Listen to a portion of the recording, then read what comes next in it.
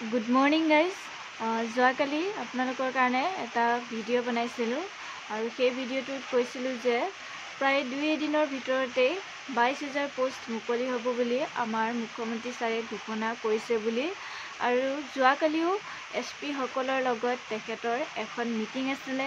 সেই মিটিঙত তেখেতে কেইবাটাও গুৰুত্বপূৰ্ণ ঘোষণা মন্তব্য কৰিছে। তাৰ ভিতৰত আছাম পুলিচৰ কাৰণেও তেখেতে বহুকেইটা গুৰুত্বপূৰ্ণ মন্তব্য ঘোষণা কৰিছে। তেখেতে মন্তব্য কৰিছে যে আহিবলগীয়া যিবিলাক পষ্ট আছে সেই পষ্টবিলাকৰ ৰিক্ৰুইটমেণ্ট প্ৰচেছটো বাইছ ছেপ্টেম্বৰৰ পৰা ষ্টাৰ্ট হ'ব বুলি তেখেতে মন্তব্য কৰিছে। যিহেতু আমি দহ ছেপ্টেম্বৰৰ পৰা এপ্লাই হ'ব বুলি শুনিছিলোঁ কিন্তু ইণ্টাৰভিউ ডেট কেতিয়া হ'ব বুলি সেইটো আমি এতিয়ালৈকে গম পোৱা নাছিলোঁ। যোৱাকালি তেখেতে মিটিঙত এইটো কথাও মন্তব্য কৰিছে যে বাইছ ছেপ্টেম্বৰৰ পৰা ৰিক্ৰুইটমেণ্ট প্ৰচেছটো আৰম্ভ হ'ব। চ' আপোনালোকক আগৰ পৰাই কৈ আছিলোঁ যে খুব সোনকালে পষ্ট ওলাব বুলি আৰু এতিয়া পষ্টটো ওলাব আৰু ইণ্টাৰভিউ ডেটো ঘোষণা কৰা হ'ল। চ' আপোনালোকে সেইকাৰণে খুব জোৰদাৰ প্ৰস্তুতি আৰম্ভ কৰি দিয়ক। তাৰ উপৰিও তেখেতে আছাম পুলিচৰ কাৰণে আৰু এটা গুৰুত্বপূৰ্ণ কথা ঘোষণা কৰিছে।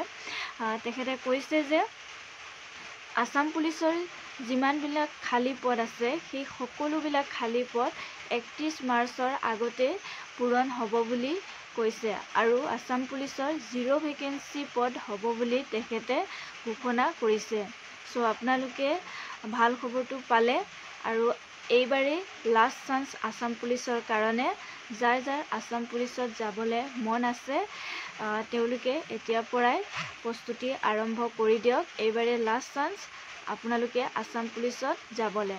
চ' সেইকাৰণে খুব ভালদৰে প্ৰস্তুতি আৰম্ভ কৰক আৰু নিজৰ নিজৰ সপোনবোৰ পূৰণ কৰক। চ' আজি ভিডিঅ'টো ইমানেই আছিলে। আপোনালোকে যদি সেই নিউজটো চাব বিচাৰে তেন্তে মই ভিডিঅ' ক্লিপটো লগাই দিছোঁ। আপোনালোকে নিজেই নিউজটো চাই ল'ব তেতিয়া আপোনালোকে ভালদৰে গম পাই যাব।